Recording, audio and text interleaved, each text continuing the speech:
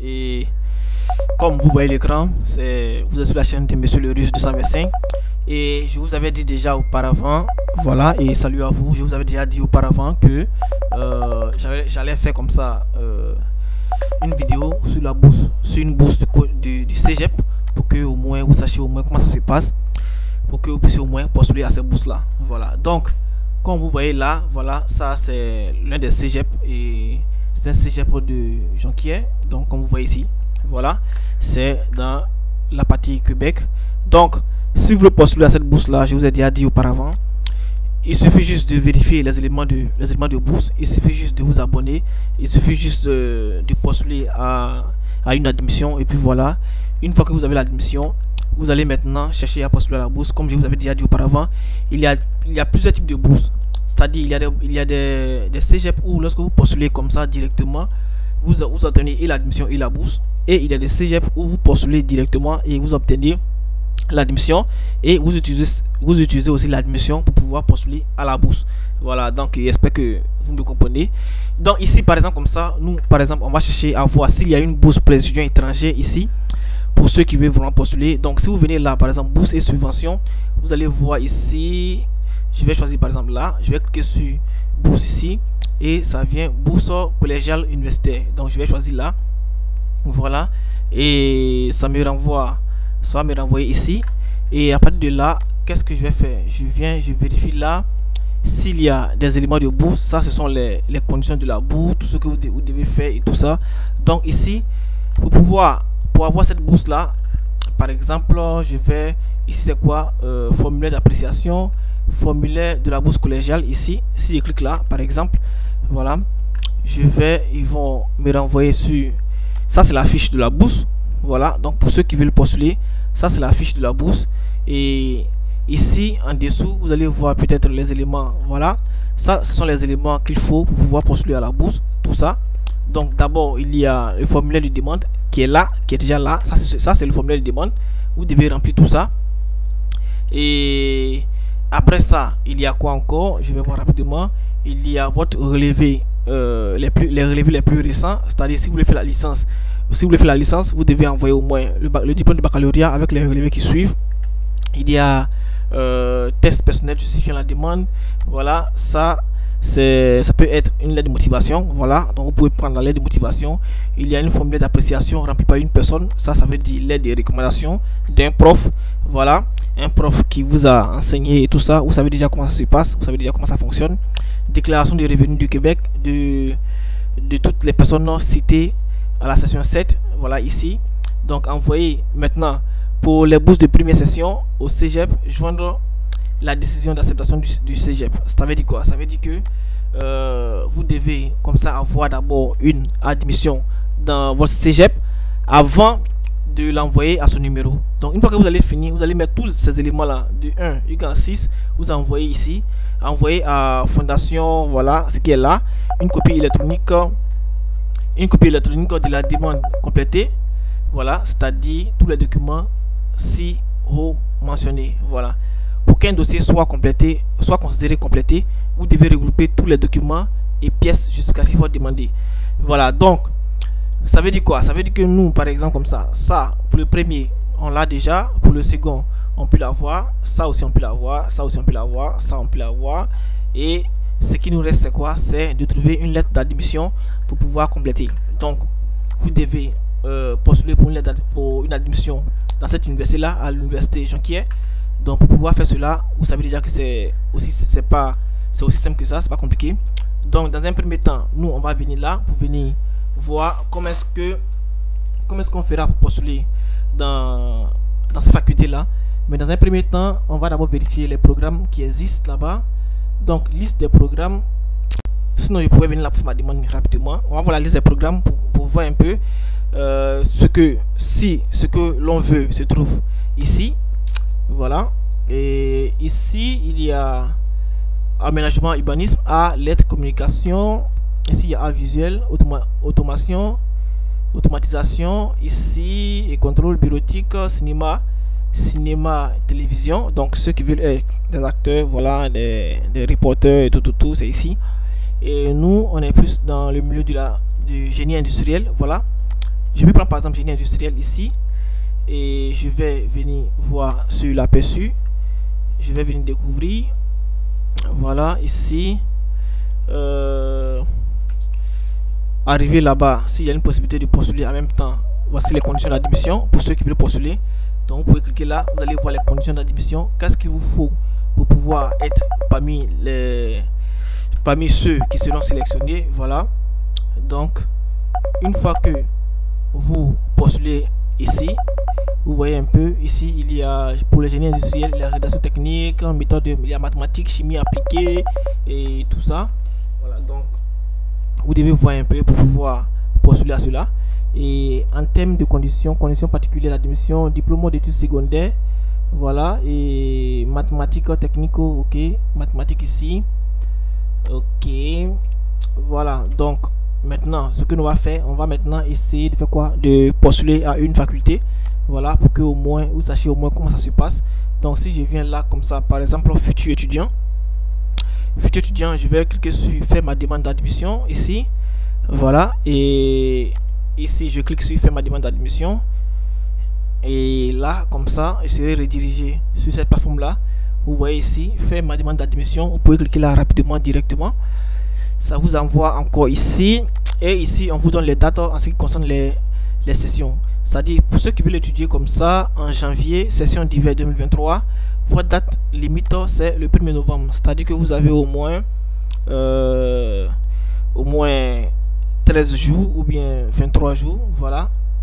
Je crois que c'est 13 13 jours avant la fermeture voilà. Donc euh, c'est à vous de, de vite fait n'oubliez pas pour pouvoir postuler à la bourse pour pouvoir soumettre la bourse je vous ai pas vous ai pas montré mais je crois que pour pouvoir soumettre la bourse c'est le 31 mai c'est à dire quoi? C'est à dire que vous devez vite avoir votre admission pour pouvoir vite soumettre aussi votre votre formulaire de bourse pour ne pas être en retard donc ceux qui veulent étudier en janvier la date limite, c'est le 1er novembre. Ceux qui veulent étudier comme ça en août ou bien en septembre, la date limite pour c'est le 1er avril 2023. Maintenant, ceux qui sont en France, en Belgique, c'est le 1er mai 2023. Voilà, donc je rappelle encore. Voici ceux qui, ceux qui veulent étudier en janvier. Voici pour vous là, étudiants internationaux. Ceux qui veulent étudier comme ça en août, pour vous, c'est le 1er avril 2023 pour pouvoir avoir une admission. Donc, c'est mieux de postuler maintenant. Vous allez vite avoir l'admission. Vous allez vite postuler aussi pour votre bourse pour que ça puisse vous aider au moins à pouvoir subvenir à vos besoins là-bas. Voilà, donc, une fois que on sait maintenant ce qu'on va choisir, on sait que notre faculté existe dans, le, euh, dans cette université-là, on sait qu'on peut postuler à une bourse aussi. Ce qu'on va faire maintenant, on va comme ça essayer d'aller postuler directement. Donc, pour pouvoir postuler, vous venez dans demande en ligne, vous venez là, demande d'admission en ligne, ou bien vous venez là, étudiants internationaux. Un instant, je vais choisir en même temps étudiants internationaux pour qu'on puisse aller vite. Ici, demande en ligne, étudiants internationaux, voilà. Comme ça, on sait que nous sommes euh, directement sur le bon chemin, on sait comment ça va se passer, on sait que tout ce qu'ils vont nous demander va concerner les étudiants internationaux, alors on pourra mieux postuler. Ok, donc ici, je viens là, programme préuniversitaire, secteur médical, technologie et puis industrie. Je vais choisir peut-être ici, voilà. Et à partir de cet instant-là, je vais maintenant effectuer ma demande en ligne. Voilà. Donc vous pouvez vérifier tous les éléments qui sont là. Vérifier bien les éléments qui sont là. Voilà. Lorsque vous allez choisir, choisir technique, technologie et industrie. Voici tous les éléments qui sont là. Donc, je peux maintenant venir là, cliquer sur effectuer une demande d'admission en ligne. Donc, quand je clique là, on me renvoie directement sur la plateforme pour pouvoir postuler en ligne. Donc, étudiant international ou étudiant hors Québec. Donc, ça, c'est nous. Voilà. Donc, ça, c'est nous. On peut cliquer là. Ok. Donc, vous pouvez lire les éléments qui sont là. Ça veut dire quoi? Ça veut dire que pour compléter euh, votre demande d'admission, veuillez remplir les 13. Les 13 qui sont là. là. Voilà, veuillez remplir les 13 étapes de ce, formulaire, incluant le paiement des frais de dossier. Voici les frais de dossier qui sont là pour ceux qui ne veulent pas entendre parler de ça. Je vous ai déjà dit qu'il y a 99% des, universités au Canada où il faut payer des frais, de, dossier. Donc voilà, ici c'est 85 dollars. C'est une fois, et suivez bien ici ce qui est écrit là. Voilà, pour ceux qui vont, qui essaient de se plaindre chaque fois. Ici, ils ont dit quoi? C'est ce n'est qu'une fois le paiement reçu que, nous, que, vous pourriez, que vous pourrez nous faire parvenir les documents nécessaires à l'analyse de votre, dossier. Ça veut dire que tant que même, tant même que, eh, excusez-moi, ça veut dire que tant que vous ne soldez pas, vous ne pouvez même pas même, vous ne pouvez pas envoyer vos documents pour pouvoir, euh, pour pouvoir faire examiner. Vous comprenez? Donc c'est après paiement que vous pouvez maintenant envoyer vos documents pour que vous participez à, euh, à l'admission. Voilà, donc c'est un peu ça. Et si vous venez un peu là, vous allez voir les documents qu'il vous faut pour pouvoir postuler à... Euh, vous allez voir les documents qu'il faut pour pouvoir postuler à cette admission là. Le certificat de naissance, voilà. comprenant le nom du bon parent, le relevé de notes, tous les trimestres ou semestres, de la seconde à la terminale, ainsi que tous les relevés de notes d'études supérieures, si applicable. Voilà, ça veut dire quoi? Ça veut dire que si vous voulez faire la licence, vous devez envoyer votre diplôme de baccalauréat et votre relevé relié au diplôme de baccalauréat et aussi les, relevés de la seconde du camp terminal. Si vous venez pour faire euh, un master aussi, c'est identique. Vous allez, envoyer pour la, pour la, la licence. Vous comprenez? Ok, ici, on dit vos récents diplômes que les relevés de avec les relevés de notes associés. Voilà. Une preuve de capacité financière si applicable à votre situation. Ok. Veuillez noter que tout document falsifié ou jugé frauduleux entraînera le rejet immédiat et définitif. Bon, ça, ils savent déjà. C'est pas à nous de leur dire cela. Ok, donc, une fois que c'est fini, on dit quoi? Lorsqu'il y a exigé l'envoi des tests de langue peut se faire à n'importe quel moment du processus. Il n'est pas nécessaire à l'analyse préliminaire de votre dossier, mais obligatoire pour l'obtention d'une admission définitive.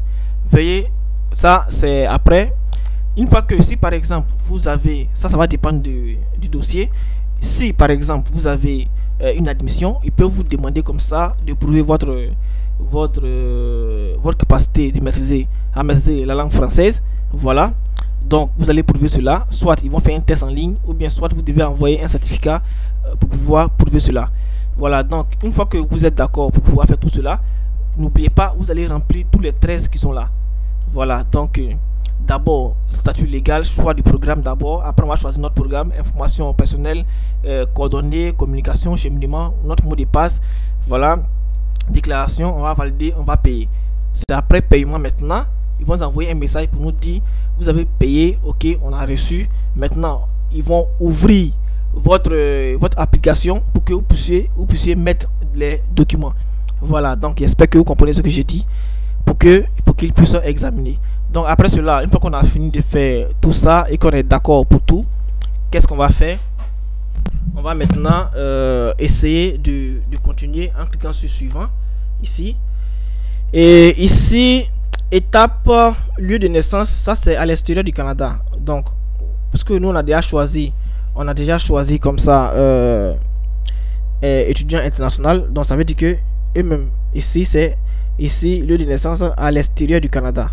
Donc, pays de naissance, je vais choisir mon pays de naissance. Voilà, je vais choisir comme ça la Côte d'Ivoire. Ville de naissance, je vais choisir peut-être Abidjan. Voilà. Ok, statut légal. Vous voyez, je suis déjà là. Je suis déjà au troisième. Indiquez votre statut légal de résidence au Canada. Résidence permanente, non. Canadien, non. Réfugié, non. Résidence, résident temporaire. Bon, ça, ça nous concerne un peu. Permis d'études à obtenir. Donc, vous cliquez là vous devez obtenir un permis d'études, personne résidant actuellement à l'extérieur du Canada et n'ayant pas de droit de séjour. Vous comprenez? Donc, vous devez d'abord obtenir un permis d'études avant de pouvoir étudier. Vous comprenez? Donc, vous cliquez ici. Et pays de citoyenneté Côte d'Ivoire, pays de résidence permanente Côte d'Ivoire. Ok, donc avançons voir. S'il y a un problème, ils vont nous faire signe. Ok, session, ça c'est à vous de choisir. Si vous voulez étudier, c'est ce que je vous avais dit. Si vous voulez étudier en janvier, vous, cliquez là. Si vous voulez étudier peut-être en août, voilà, vous cliquez là. Euh, moi, je vous conseille vraiment d'étudier en août, de cliquer sur ici, parce que en janvier, pour pouvoir déjà pour pouvoir postuler euh, à cette université là, peut-être que vous allez avoir l'admission dans dans deux dans deux mois. Bon, je ne vais pas dire deux mois, mais au Canada maximum c'est six semaines. Six semaines, ça, ça peut faire maximum deux mois. Et en deux mois, vous allez avoir votre admission, vous allez postuler pour euh, un service CAQ. Après CAQ, vous allez postuler aussi pour un service euh, permis d'études. Et après cela, maintenant, vous allez maintenant aller chercher votre visa pour à l'ambassade. Vous comprenez? Donc moi je considère que au minimum c'est 4 mois parce que ceux qui m'ont ceux qui avaient demandé mes services pour que je puisse postuler pour eux pour aller chercher leur visa, c'était au minimum 6 mois. Vous comprenez? 6 mois minimum ou bien minimum 4 mois. Minimum 4 mois. Donc ça veut dire que pour aller étudier en janvier, vraiment si vous voulez postuler actuellement avec euh, jusqu'à maintenant, c'est-à-dire aujourd'hui c'est le 18 octobre, vous allez avoir quelques soucis. Voilà, de ça peut venir vite Ici, la diminution peut sortir au peut-être euh, en deux mois. Si la diminution sort en deux mois, peut-être qu'en janvier, vous allez pouvoir faire vos cours. Vous comprenez? Voilà, pour ne pas faire des reports de cours et tout ça. Donc, moi, je vous conseille vraiment de choisir août pour ceux qui veulent aller étudier. Donc, ici, le cégep que moi, je vais choisir, je vais choisir euh, ce cégep là. C'est là que je suis en train de postuler ici. Voilà, Jonquière. Donc, le programme que je vais choisir à Jonquière, je vais choisir peut-être... Euh, euh, informatique ou bien génie industriel. Voilà, génie industriel. Les CGP sont disponibles. Par exemple, si votre établissement d'enseignement a signé une entente, vous pouvez faire une demande dans le cadre entente de mobilité ici. Mobilité, réunion, aucune. Votre établissement doit être affiché dans le menu déroulant. S'il n'apparaît pas, cochez aucune. Voilà, aucune. Donc, suivant. Ok, donc pour ne pas que les éléments du, je vais essayer comme ça. Ici, veuillez prendre connaissance de directives. Ici, vous allez télécharger ce qui est là, là. Voilà, à télécharger, à compléter à votre dossier. Vous allez télécharger ça. Et ici, preuve récente des de fonds, une autorisation récente de transfert de fonds, une lettre de banque indiquant euh, le solde actuel de votre truc. Exemple ici, euh, il y a plusieurs éléments. Voilà, donc ceux qui veulent par exemple continuer, qui veulent vraiment qu'on les aide à postuler, vous pouvez nous contacter. Voilà, pour qu'on puisse s'occuper tranquillement de vous. Donc, comme je vous avais dit, vous allez remplir tout ce qui est là. De toute façon, je ne peux pas mettre tous les éléments parce que, parce que après je dois payer, je dois pouvoir continuer. Mais au moins, vous savez déjà comment ça se passe. Donc, si vous avez des questions, vous pouvez laisser des questions en commentaire. Je vais essayer de vous aider en répondant à ces questions-là. Voilà, donc les gars, n'oubliez pas, c'est très important pour ceux qui veulent postuler. Voilà, donc euh, je voulais vous rappeler aussi qu'il y a des il y a des cégep qui sont un peu moins chers. Donc si vous voulez vous voulez voir ces cégep là, vous, pouvez aller sur Google, vous allez les voir ou bien vous écrivez en commentaire pour que je puisse vous donner au moins quelques noms et vous allez les postuler. OK, donc les gars, c'était moi le Hospital et puis voilà. Surtout prenez soin de vous, n'oubliez pas et à plus les gars.